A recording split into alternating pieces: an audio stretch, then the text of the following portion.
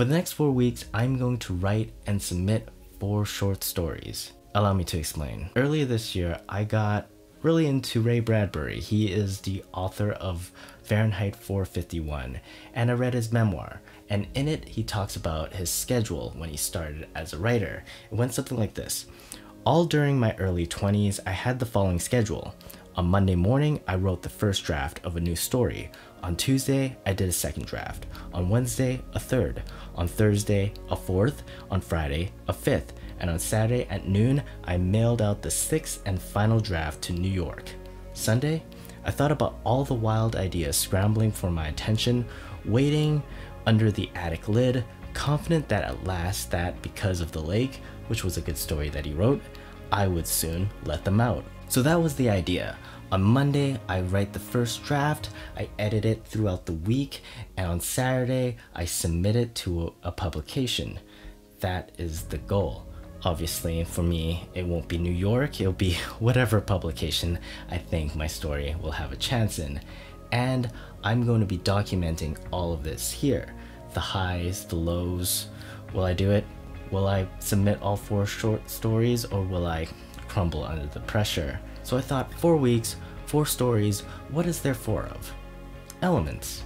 So each week I'm going to use one of the elements as inspiration to kickstart my story. That way, I'm never 100% stuck. But before we get too deep into this video, I'm Elliot. I make videos about writing and the creative process. If that interests you, don't forget to subscribe.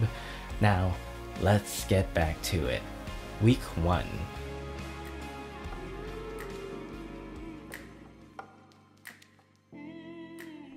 Day 1, I planned out my schedule and story ideas. The goal of this day is to have one idea for each week. It doesn't have to be a great idea, it just has to be something I can fall back on. There is nothing worse than having a deadline and not knowing what to write.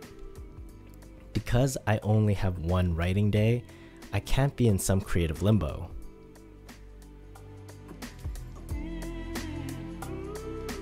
The goal when I'm writing a first draft is to get the whole thing written so I know how it ends, if I don't know how it ends, then I can't officially move on to the editing phase. So I really pushed myself this day, finding free time on a busy Monday to write the full story, which ended up being around 2,100 words. So it proved to myself that I could do it and I can thrive in a deadline type scenario, and it felt really good to be writing fast.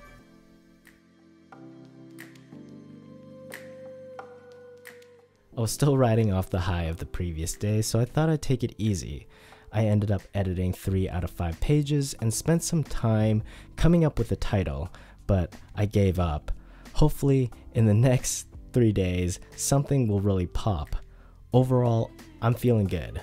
My story isn't complete garbage. I feel like it's something to work with, but until someone else reads it, I always rather feel really good or really bad about a story, and it's usually somewhere in the middle.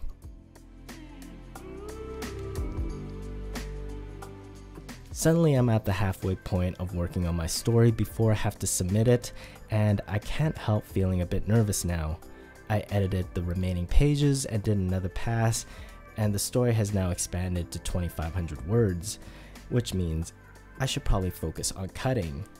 I came up with another title, but I'm not ready to make a decision yet, and I'm starting to doubt what I've written.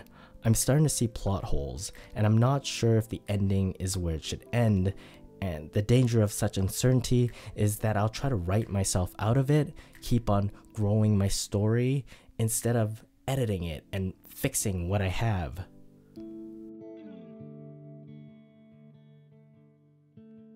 Alright, so I did another round of edits and here I am feeling pretty good again. I'm wondering in the normal world how many rounds of edits do I actually do? I'm thinking around 4 passes, so doing 6 in a week is actually a lot. My current draft is still about 2500 words, but I'm not even worried about the length anymore because I have a secret weapon my wife, a professional editor. So at the end of this day, I'm going to send my draft to her and try to get her feedback.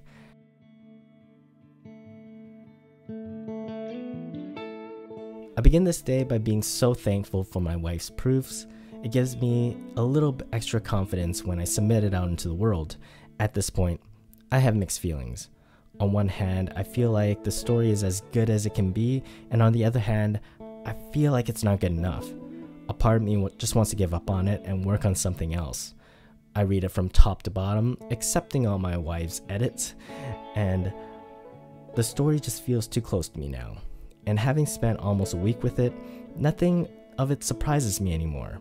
And this is the hardest part. You know it could be better, but you don't know what to fix. Here we are, the big day. I've kept up with Bradbury this week and did another round of edits. This edit was just another pass, cleaning it up, removing excess words, and making sure any description can be elevated or made more visceral, but most importantly, not adding any errors back in. After that, I'm ready. I format the doc to the required submission guidelines, wrote a short cover letter, which I hate doing, and boom, submit. Week 1 done.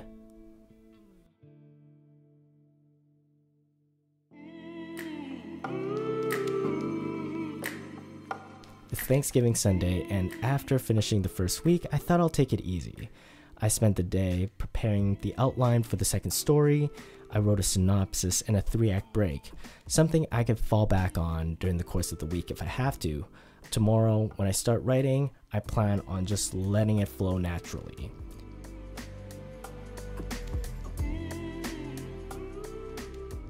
I ended up writing the majority of my second story at a coffee shop because I had to wake up early to drive my wife to a race. I decided to do it all on pen and paper this time around and see how that changes my process this week.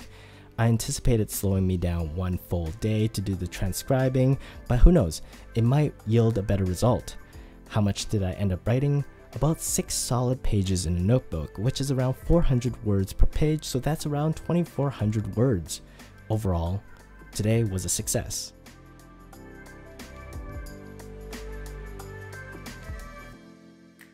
I often find transcribing to be a good way to revisit old work, and it's usually an experience that I enjoy. However, this time, it was a little painful. Doing it so soon after I've written it, and knowing that I have a deadline at the end of the week, made me a little bit worried about the quality. I spent a day where I could have been editing, transcribing, and it took all day. And the story is still pretty rough, and it's over 3,000 words which is a lot more than I expected. With that being said, let the cutting begin.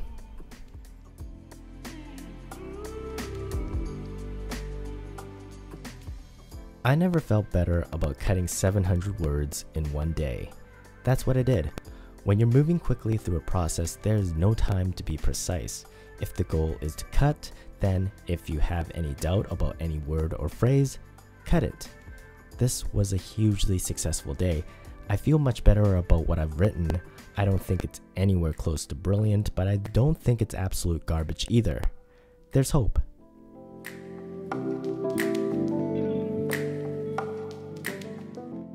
This was an intense editing day where I felt there was so much to fix and such little time what happened was I got caught up with a few paragraphs that I just kept reworking and reworking. It's frustrating when you want to keep a really good turn of phrase or a witty line, but to leave it in your story would be a decision made for the ego. I ended up doing two full passes of the story today and adding about 500 words back into it. At the end of the day, I feel there's still so much left to improve. I shared it with my wife. If she tells me it completely doesn't work, at least I'll have time to fix what's broken. But that would suck.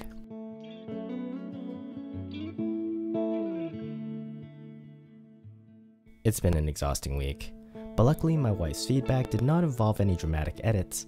A good editor can recognize what a writer is capable of within a timeline and provide criticism accordingly. I'm very grateful for that, and she is always very supportive. I went through, accepted the changes that she suggested, and gave the story one thorough pass. I can feel that some parts are still clunkier than others, but I don't know if I have the stamina to work on it today, so I'm gonna let it rest and revisit it once more tomorrow before I submit it.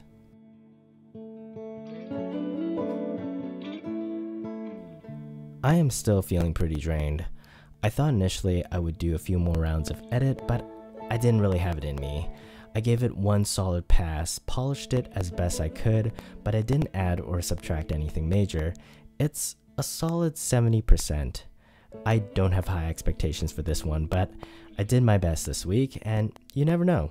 Someone might like it. I formatted the story, wrote my cover letter, which I now have a template for, so it's a little less annoying, and hit submit.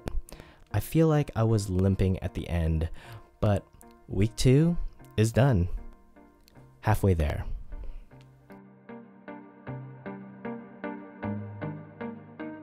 So, I know I'm gonna have a really busy week this week, especially tomorrow, Monday. Monday was the day Bradbury dedicated to writing the first draft. I don't think I have the luxury of time, so I want to get at least a portion of my story written today. The goal was just to get a thousand words down, so that at the very least, I'll be around halfway done tomorrow. Any progress I make today will just make completing the story tomorrow easier. Plus, I feel like writing. I really just feel like sitting there and imagining. If I'm imagining, I'm writing.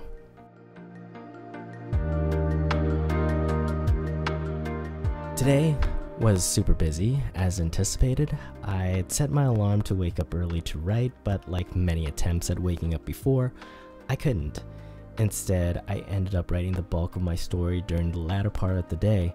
I ended up getting 1600 words down, which was enough for me to wrap up the first draft.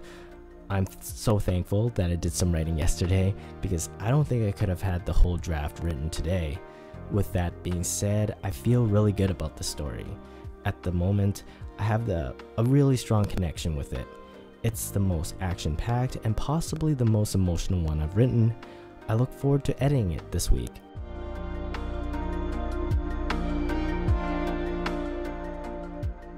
This has been a crazy week, and I'm honestly surprised that I've been able to give this story the attention that I had. Work is busy, and home is busy as well. However, I did a full pass of the story today, and I feel really good about it. This story is a page turner and has a consistent energy to it. Honestly, Working on the story is a nice escape from all the stress of this week. Usually the second draft is painful, but this time it wasn't. I hope it's actually as good as I think it is, and it's not just my exhaustion that makes it seem better than it is. If it's this good now, the hope is that I can make it better in the next few days. I guess we'll find out.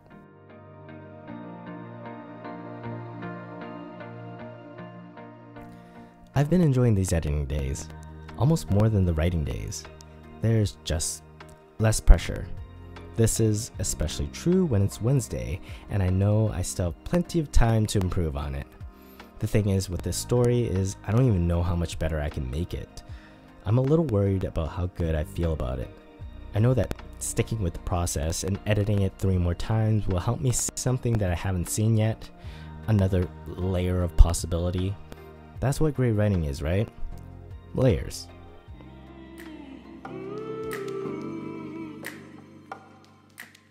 It's another chill day for editing.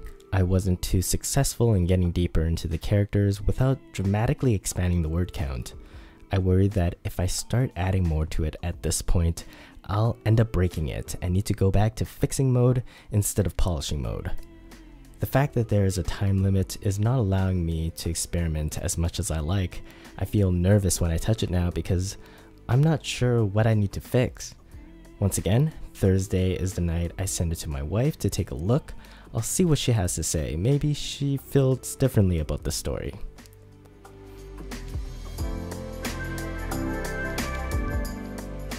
When I write a story, I have my interpretation of it. When I allow someone to read it, they often give me a perspective that I wouldn't have myself. My wife read my story and told me how scary and sad this one is. I think that was definitely the tone I was going for. However, I interpreted the sadness as a sliver of hope. This created a bit of separation between myself and the story. I read it again, and I agree, this story is pretty intense. Who knows what mood the publisher or judges reading the story will be in after I submit it? Maybe a really intense story is what they're looking for.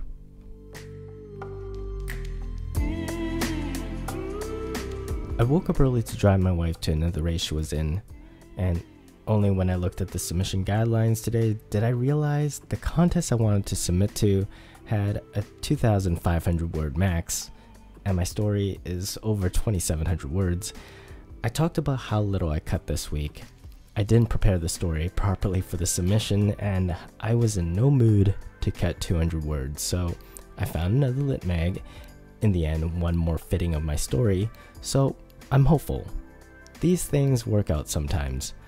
I gave the story one more pass, I hit submit, and finished my task before all these runners finished their half marathon. Week 3, done.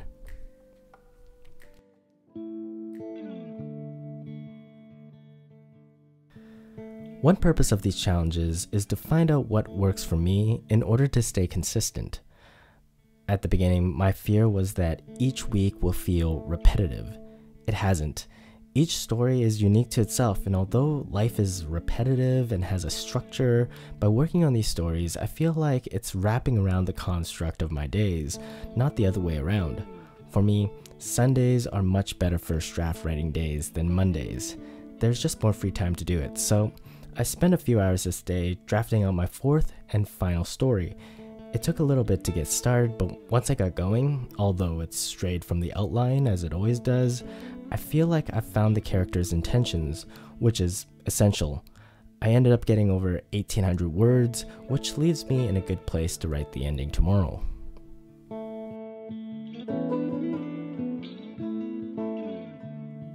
I wrapped up the story as best I could by only adding 500 words. Now that I know how it ends, I feel like there is going to be a lot of editing work required for this one. This is something I do, and this is why I find short stories so challenging because my ideas are always huge.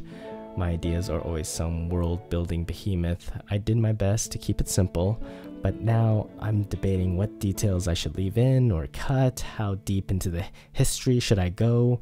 This story, more than any of the others, requires some understanding of the world, so I'm a bit worried about how I'm going to approach this editing process.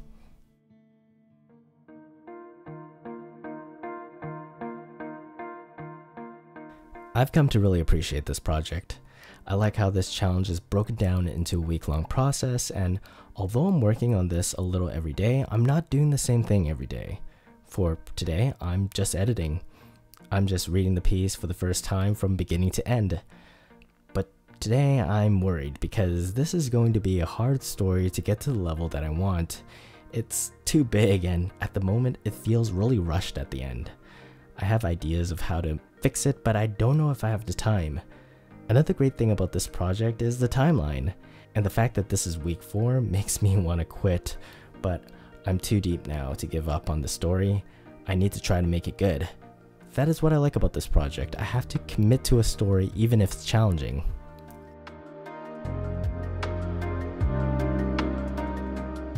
After today's edit, I feel the story is heading in a direction I can approve of, but in making the story coherent, I've also expanded it. It's now over 3,000 words. This means I might or might not have added some extraneous things that I may need to cut tomorrow. Last week, I talked about how nice Wednesdays are because they are chill editing days. While it still feels nice, I do feel a little pressure this week because this story is hard. I feel like this story and the week 2 water story are the toughest, so I'm drawing experience from that. Needless to say, I'm glad I didn't give up. I feel much better about this story today than yesterday, and it's just a reminder that all creative projects, regardless of the scale, will have ups and downs. I'm trending upwards, but it's by no means a big spike.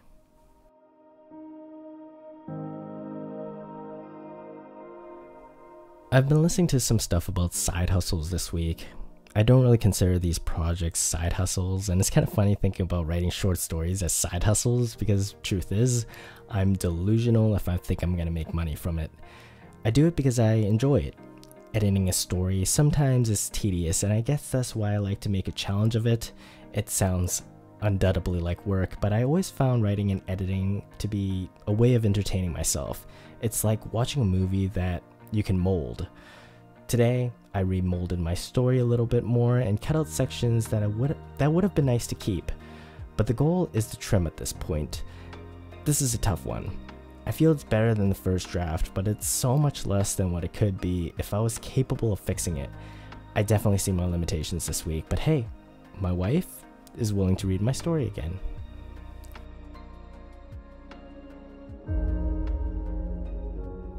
The penultimate day of this project. I feel relieved to have gotten to this point.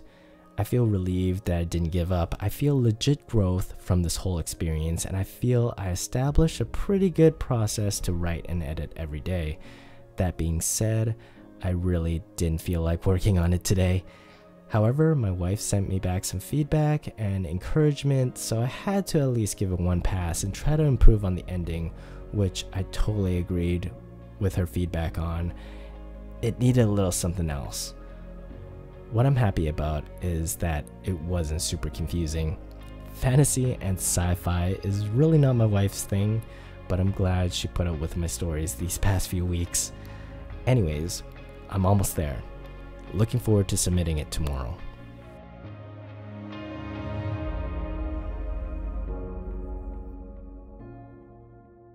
Here we are, it's a beautiful day to finish this project. I'm genuinely impressed that the story I felt so unsure of when I wrote it earlier this week has transformed into something that, dare I say it, I'm proud of. At least that was how I felt when I read it over this time and submitted it to the fourth publication of the month. This was a lot of fun, and pushing myself to do this allowed me to write four stories that I don't think would have come any other way. I'm very happy I did this, and I'm already thinking about the next short story series that I can write. Have I gotten better as a writer? It's hard to say, but I definitely proved to myself that if I wanted to write and submit a short story in seven days, I could do it. It's a process that is possible and repeatable, and as we know, processes are everything. Thank you so much for joining me on this journey. My name is Elliot. I make videos about writing and the creative process. If that interests you, don't forget to subscribe. Good luck with your writing, and I'll see you real soon.